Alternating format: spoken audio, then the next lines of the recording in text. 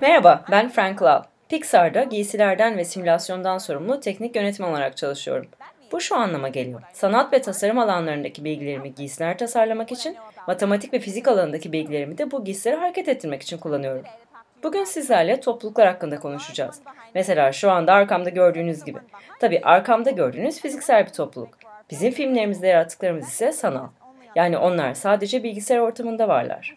Geçen videoda sadece birkaç parça ile çok sayıda robot yapmanın kombinatorik sayesinde nasıl mümkün olduğunu öğrendik. Şimdi beni takip edip kombinatorik ile ilgili daha fazlasını ve Pixar'da ondan nasıl yararlandığımızı öğrenin.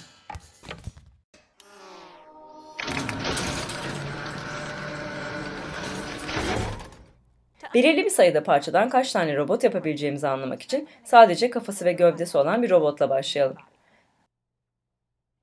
Elimde iki farklı kafa seçeneğim ve üç farklı gövde seçeneğim var. Şimdi bu kafayla bu gövdeyi eşleştirebilirim. Ya da aynı kafayı bu gövdeyle de eşleştirebilirim. Ve şimdiden elimde iki farklı robot oldu bile.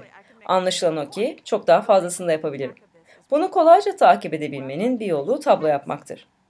Kafaları sütunlara, gövdeleri de satırlara yerleştiriyorum. Burası bu kafayı bu gövdeyle eşleştir anlamına geliyor. Tabloda 6 kutucuk var. Demek ki 6 farklı robotumuz olacak. Hem de sadece 5 farklı parçamız olmasına rağmen.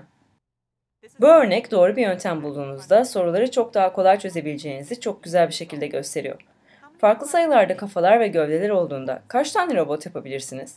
Sıradaki alıştırmayla bu konuyu keşfetmeye başlayabilirsiniz.